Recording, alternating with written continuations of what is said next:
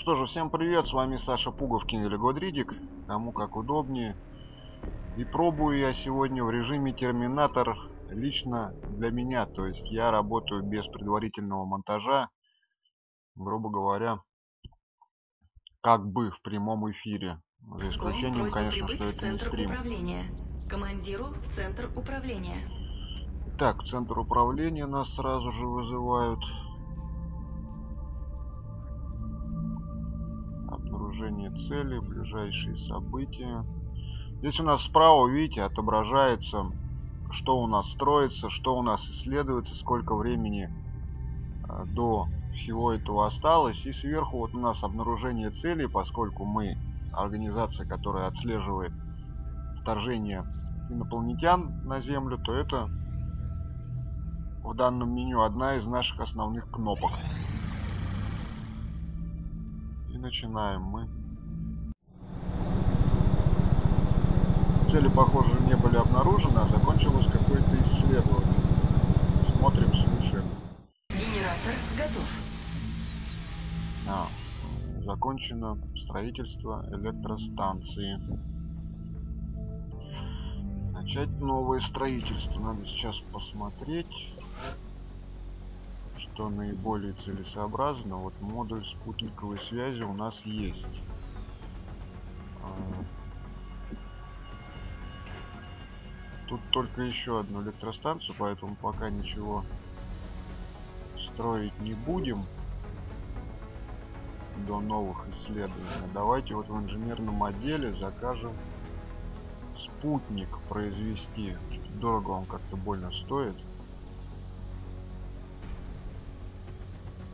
100 баксов. А до нового финансирования у нас почти целый месяц. Нет, значит, пока что спутник не будем. Ничего пока что не будем. Обратите внимание, вот когда в центр управления мы заходим, а, насколько ускоряется ход времени, когда мы включаем обнаружение целей. Вот, пришельцы похищают людей. Мы получили сразу несколько вызовов. Места, где появились пришельцы, отмечены на глобусе.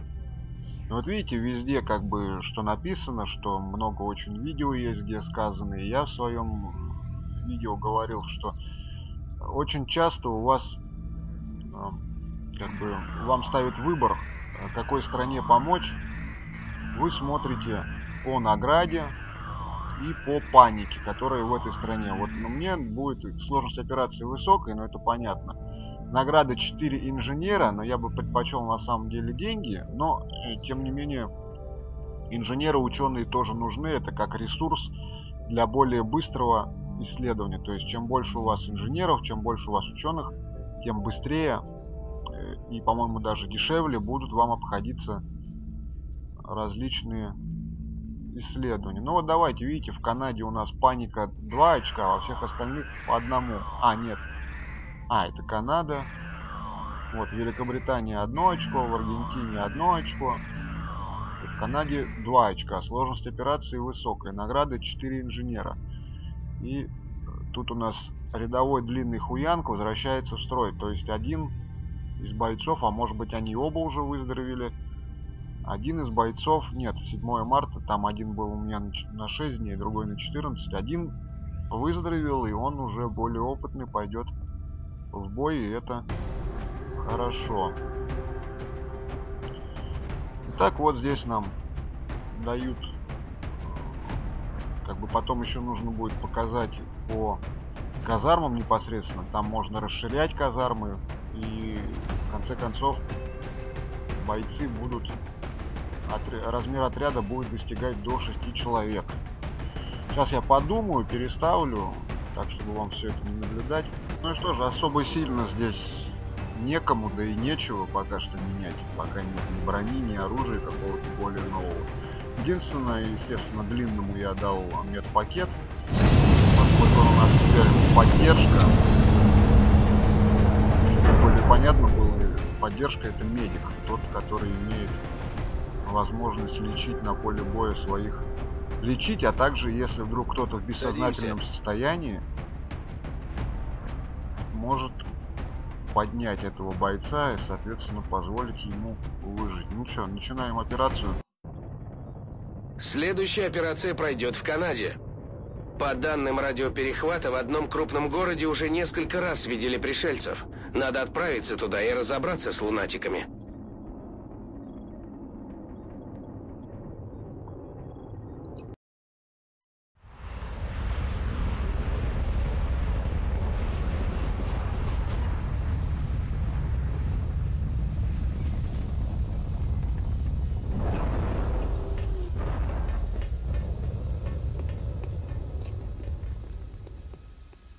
Центр, я рейнджер. Ударный отряд приземляется. Ждем приказаний. Вас понял, рейнджер. Штурм-1 может приступать к операции. Ну что же, осмотримся пока на поле боя. И вот то, о чем я говорил, видите, появился скилл у длинного. Устойчивость называется. То есть, что этот скилл дает? Не дать бойцу в критическом состоянии умереть от потери крови. То есть, вот помните, в первом бою у нас было что боец валялся, стонал, там давалось три хода, чтобы оказать ему помощь, но поддержки не было, и в результате чего боец погиб. И длинного, естественно, ни в коем случае нельзя выставлять вперед под удар. Он должен быть где-то за спинами, чтобы в случае чего подлечить. Вперед у нас пойдет молодое пушечное мясо чтобы хотя бы примерно еще знать, где эти инопланетяне. Ну и как обычно я... Штурмовиков пока что тоже нету. Штурмовики чем э, хороши будут в дальнейшем. То есть у них есть скилл, что после передвижения они могут еще вести огонь. То есть даже после рывка. Непосредственно.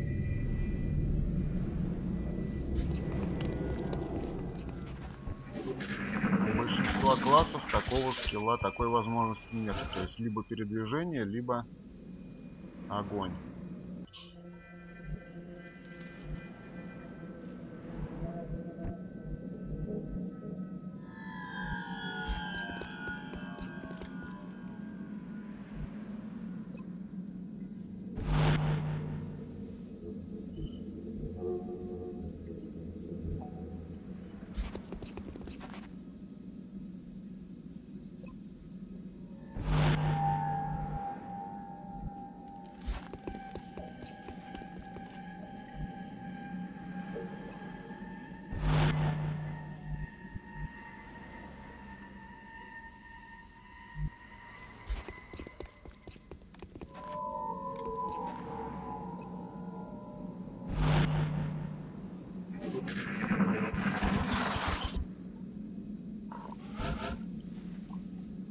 Пришельцы упорно не желаются вскрываться. Сейчас тогда, значит, будем делать ход конем. Длинного подгоним поближе.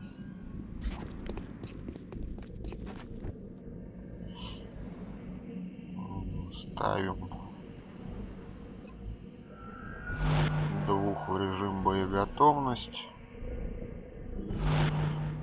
последнего отсылаем как можно дальше вперед. Вот они, вот они вскрылись. Два лунатика. Ну и думаю, тут я шибко сильно заморачиваться не буду. Вживую мы их все равно не захватываем. Сейчас посмотрю, кому наиболее удобно. Ну и гранату кину, да и все. Начали они огонь. Ух ты, нормально сразу сняли. Паника. Огонь, молодец, молодец. Я говорю, в панике, в принципе, ну да, паникуют они. Кидают. Так, давай-ка вот сюда.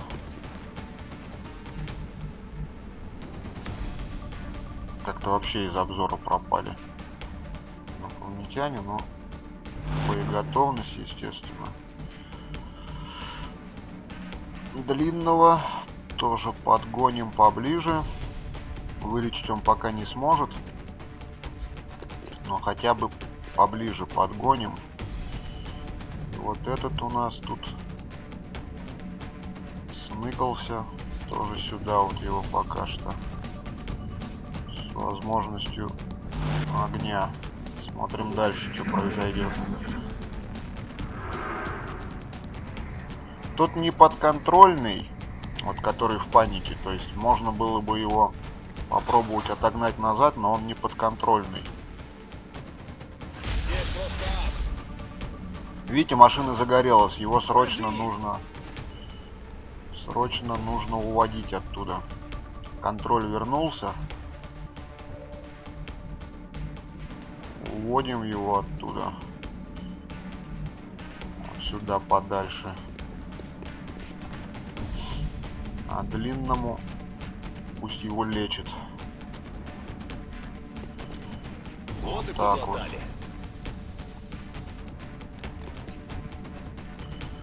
Все вперед. И граната. Нет, граната не достает он как следует. Значит, вот сюда вот. Чуть-чуть поближе его.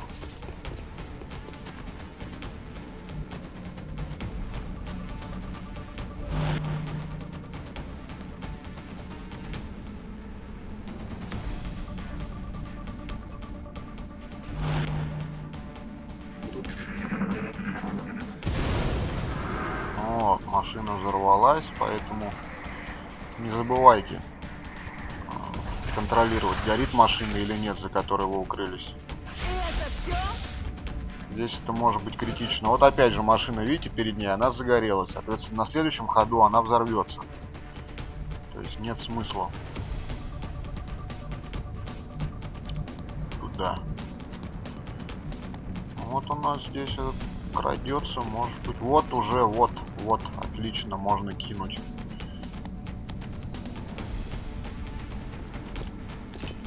Граната пошла!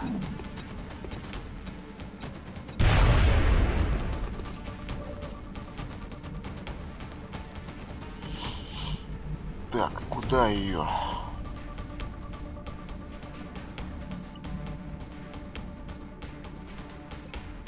Пока что в боеготовности. Всех пока что в боеготовности. Здесь э, нахрапом э, лучше не брать.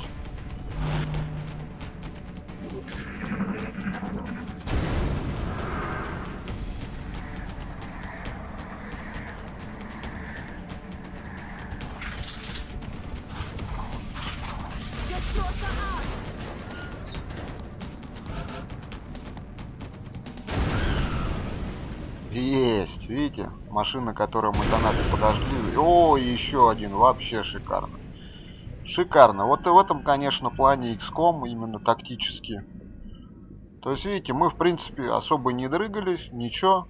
Кинули гранату, подожгли две машины. Машины взорвались. Пришельцы, соответственно, отдали богу душу. Так, и тут вот этого надо бойца, который гранату закинул.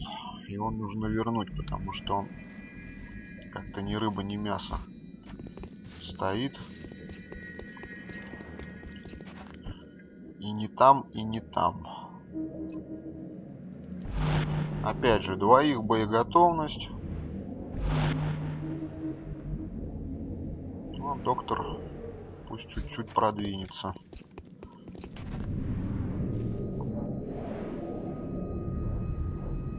Снова боеготовность.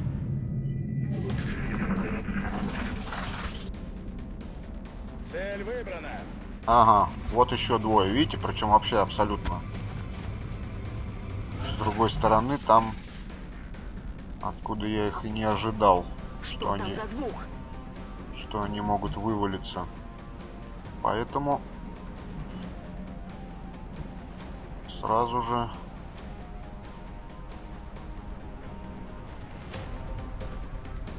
убираем из-под флангового огня. Стараемся убрать. Кстати, Добрынин, похоже, это русский новобранец.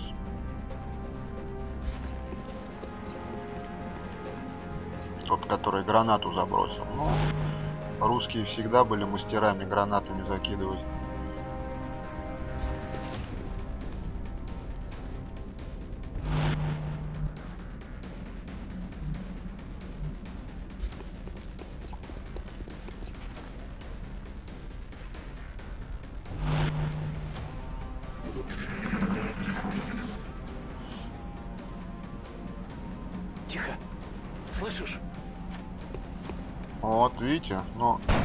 Факт, что попадет, конечно, но, тем не менее, говорю, вот эта вот боеготовность, конечно, очень и очень хороший режим. И сейчас вот эта вот девочка закинет сюда гранату. Я говорю, мы в этой миссии у нас нет, как бы мы никого мы вживую не берем, поэтому экономить эти гранаты все. Че, больно мучиться-то, да? И опять ставим их всех в боеготовность.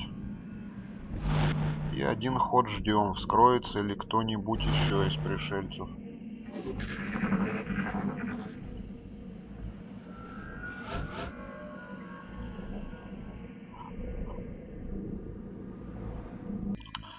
Никто не желает скрываться сейчас русского. Да, у него русский флаг на флаг Российской Федерации на спине. Это русский боец. Сейчас мы его отправим открывать дверь, вот ту на воротах, белую. Но всегда, прежде чем кого-то отправлять на передвижение вперед, особенно на разведку, желательно, чтобы как минимум один боец, а еще лучше, что все стояли в режиме боеготовности, чтобы если он вскроет кого-то, тем более сейчас он получается беззащитен. Вот, видите? Взрыв какой-то. Слышали? И показывают, что за спиной у него враг, но пока никого не видно. Откроем дверь.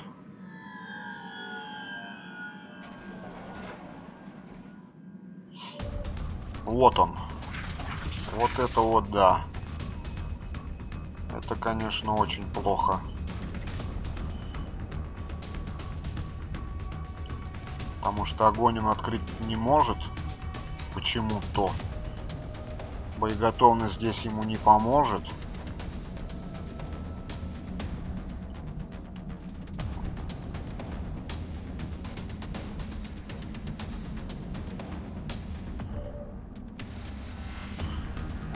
Она видит пришельца, но 21%. Ну, огонь, что теперь делать? Мимо, естественно. Вот это плохо. Это вообще просто караул. А этому нужно убегать. Тут больше ничего не попишешь. Убегать, боеготовность. Остальные все, соответственно, тоже боеготовность. Ну и доктора вот сюда вот я отправлю. Но есть вероятность, что этот пришелец машину подожгет. Но, что ж теперь поделать? Он там еще, по-моему, кто-то лезет. Стены ломаются.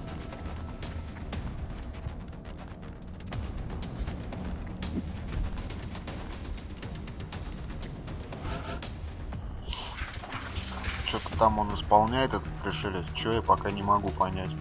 Ну и тут вариантов, конечно, немного. Нужно вот 61, 60 процентов крита. Давай, давай, малышка, давай. Два очка хп сняла.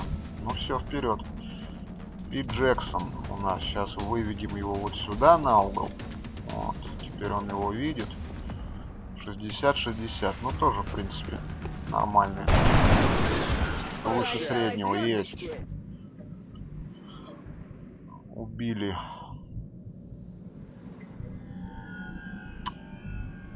Так. Ну, естественно, боеготовность. Добрынин.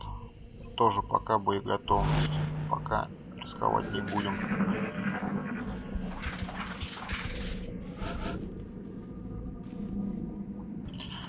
И снова рисковать сильно не будем, потому что перезарядиться нужно.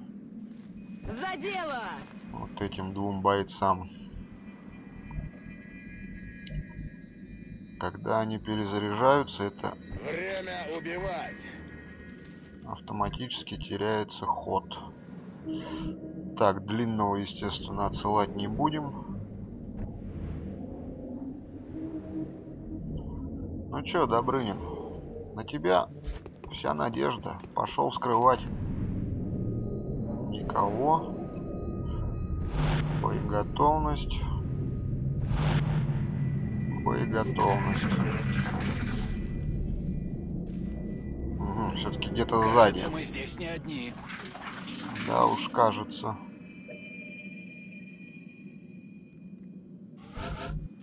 Но этих двоих, естественно, в боеготовности я буду ос- оставлю.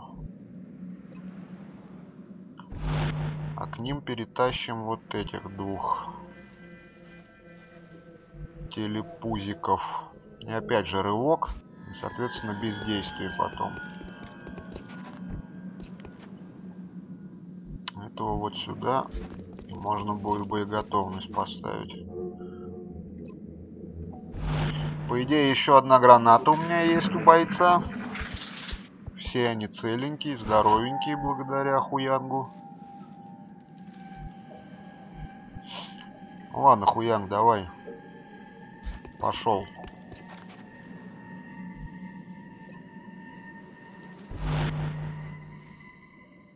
Типа опять никого.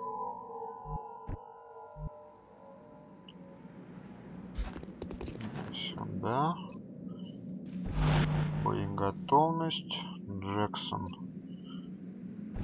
Боеготовность. А Добрынин. Ух, ух, ух. Мне так кажется, что кто-то на крыше здесь тусуется. Как туда на крышу забраться? Либо на крыше, либо вот, может быть, на какой-то из этих машин.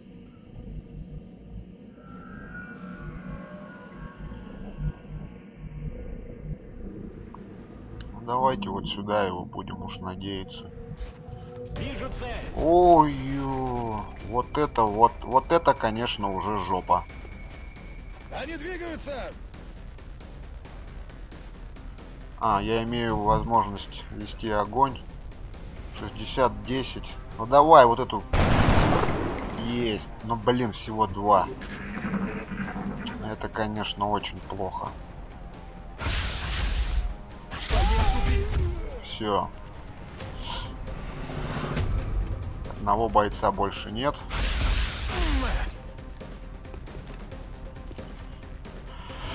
Добрынин тоже попал. Вот так вот. Это вот. Это вот.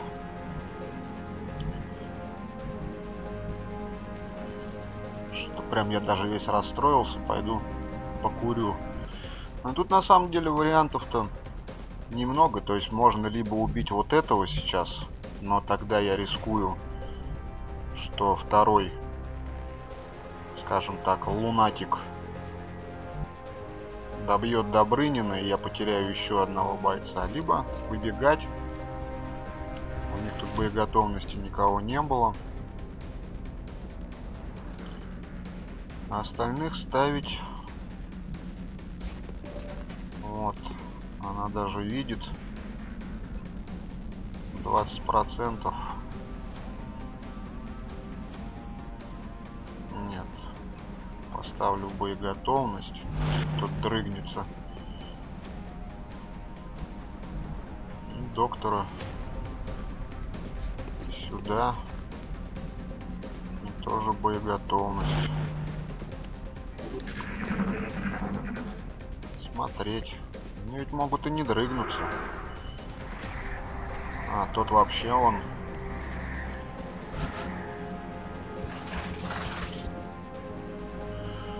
Фух. Так, ну вообще вот сейчас есть вариант, то, о чем я вам, помните, рассказывал.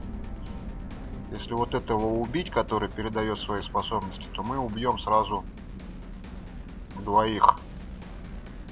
Пробуем. В принципе, расстояние маленькое. 48-10.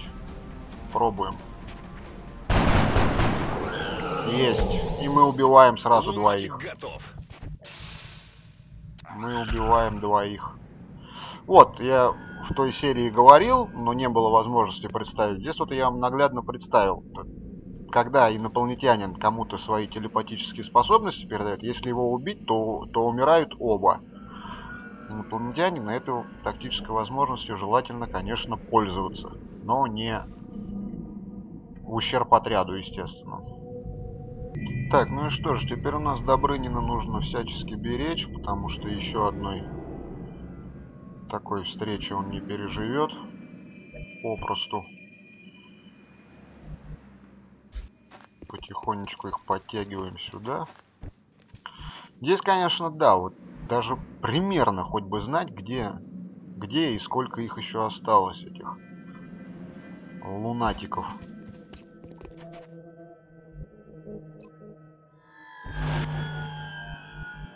Но уже вместе я их буду сейчас туда внутрь загонять.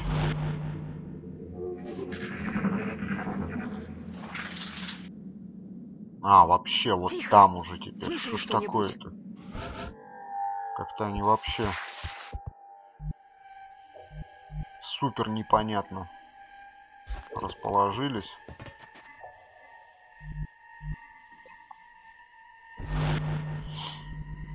А Ровно как я не понимаю, как их вскрыть.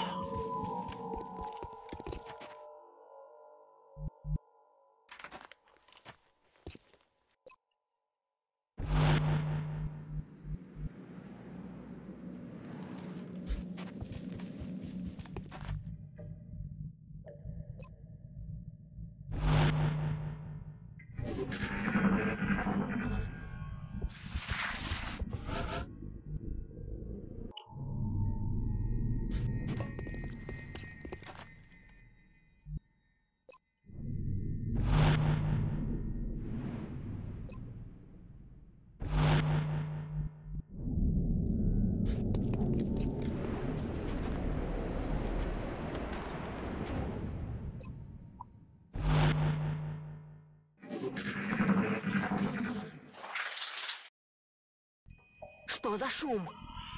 Ну и где-то здесь вот тоже немножко непонятно, то ли на втором этаже, то ли все-таки здесь в комнате. Главное, чтоб справа нет, вроде никого нету. И опять никого не видно. Никого не видно.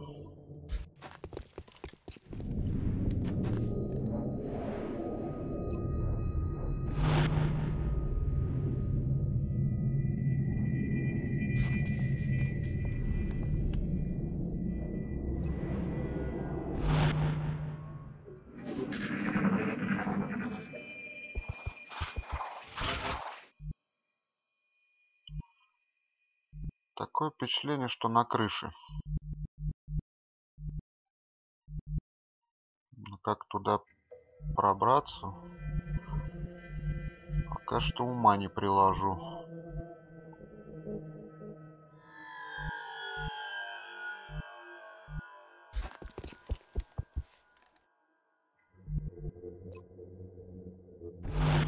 Вот так вот потихонечку, полигонечку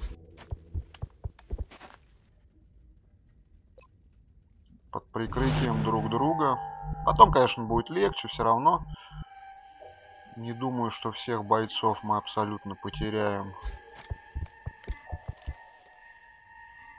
Хотя, если потеряем, серия называется «Докуда пройду».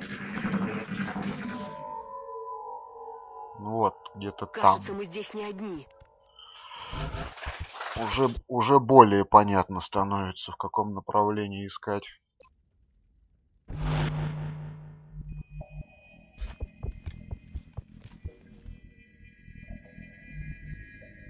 У меня складывается впечатление, что каким, каким бы умным АИ не был в XCOM, эти пришельцы вот где-то сидят, сидит вот он там, в этой комнате, и он никуда не дрыгнется, то есть он не ищет меня, он не перемещается никуда. Вот у меня лично складывается именно такое впечатление, что каким бы умным АИ не был,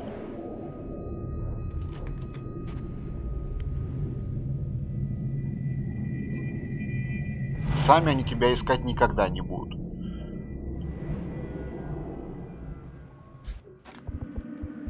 Ай, блин. Немножко не подумал я. Опрометчиво я его отправил, конечно.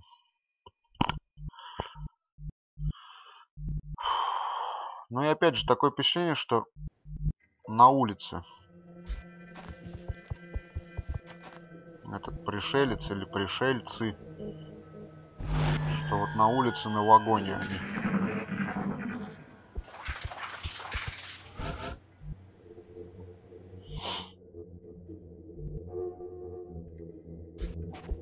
Там кто-то Да, вот они. Два брата-акробата.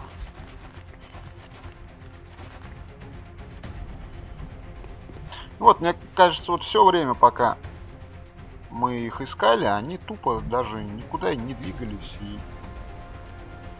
не собирались двигаться.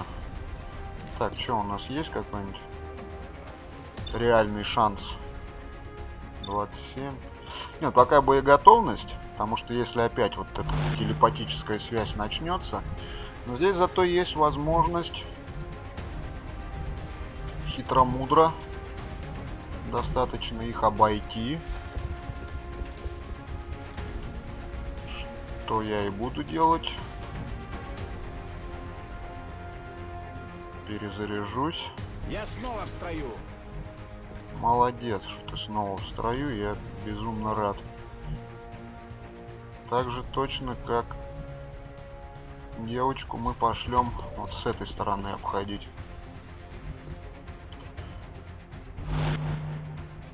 В принципе, если, если это два последних, то я думаю, сюрпризов не возникнет. Вот он опять, телепатическую связь. И нужно его колбасить.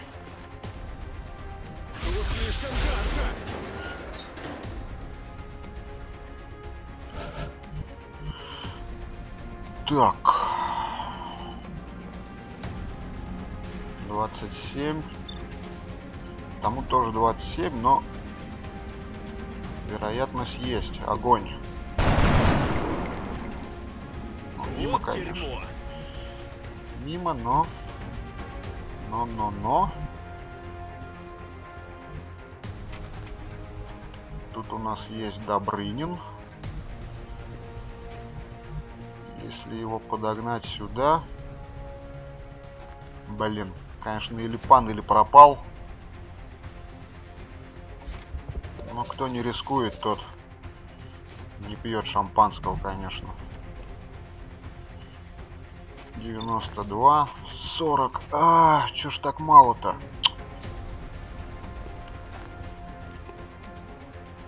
Ну огонь, давай, давай. Мимо. О, все, это жопа. Это даже не жопа, это я даже не знаю, как назвать. Это полный.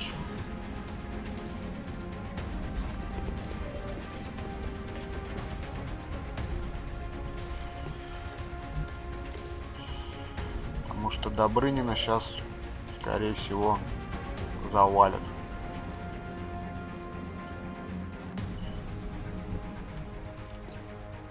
Ну. Ну что ж теперь поделать? А может промажет еще фиг. Промазал. Ну вот это, наверное, по-любому не промажет, который желтенький. Так, и что у нас? Ход пришельцев.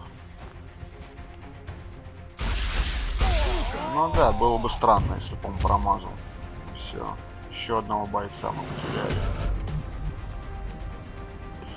Новобранец Добрынин умирает. Фак. Ну чё, тут только уже стрелять, стрелять и стрелять. вот. Без разницы, в принципе.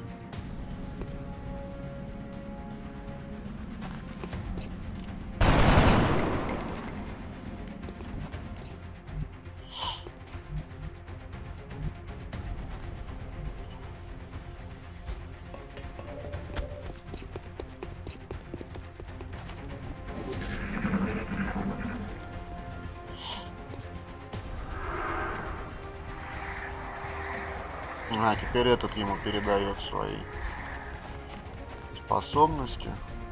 А, видите, как-то, что это? По-умному поступил. Даже пытается флангово обойти. Но мы-то умнее. Так.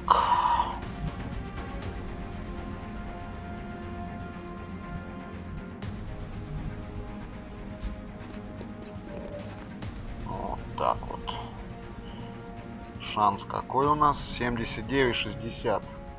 Шанс очень хороший. Если мы его убьем, то убьем опять же обоих. Есть. Отлично. Задание выполнено. Все. Терпимо. Ну, терпимо. Да, базара нет.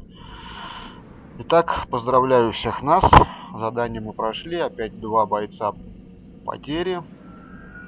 Два новобранца, но ничего не попишешь. Операция «Выносливый судья».